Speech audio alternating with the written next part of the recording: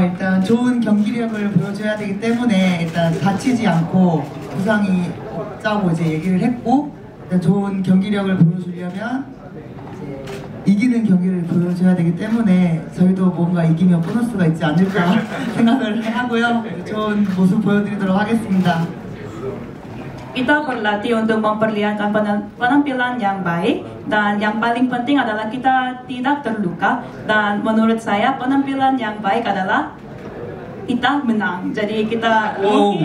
mungkin mungkin kita bisa dapat bonus. Wah, bonusnya dari bukan yang dari sini ya. Ya. 보너스는 여기서가 아니라 ya. Oh. 여기 bonus di sini. Oh bonus di sini. Pak Gilang berarti nyiapin dua-duanya menang, dua-duanya harus ada bonus ya. Kayak nggak apa-apa Pak.